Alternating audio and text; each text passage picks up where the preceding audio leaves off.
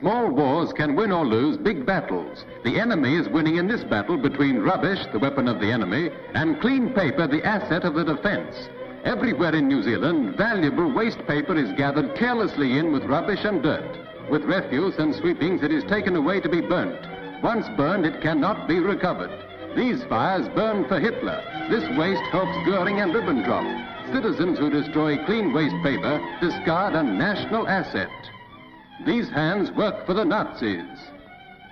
This despoiling of clean waste means another ship exposed to danger.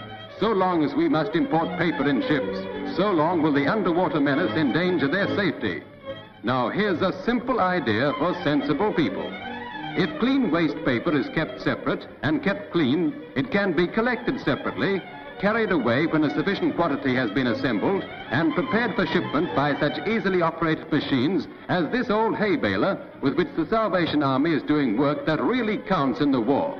Whenever a load is ready, the bales can be carried through safe local waters to local mills and speedily returned for use in the presses that cut and print cartons and various containers, wallboard, paper bags, or envelopes.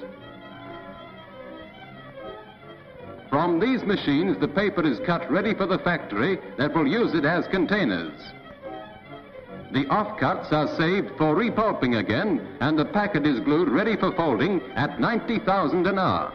This process depends on you. The system is simple. Telephone your local waste reclamation committee. Collection will be arranged. And after that, the organization carries on. The collection is arranged by waste council committees at each center. The work of preparation for Mataura or Whakatane paper mills is done by the Salvation Army. Profits are shared equally by the Salvation Army and patriotic funds. This organization could deal with many more tons of paper each month. Much more should be available. New Zealand is wasting thousands of tons, and this wastage means a tragic setback to the war effort as a whole. Shipping space must be conserved. The system can be organized in business buildings, in flats.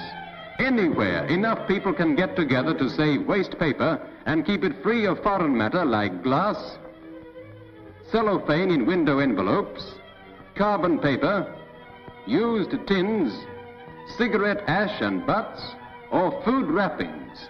Keep it clean and separate, and it can be used and used again. We must risk lives and ships unless the community wakes up to this simple but vital job of saving waste paper.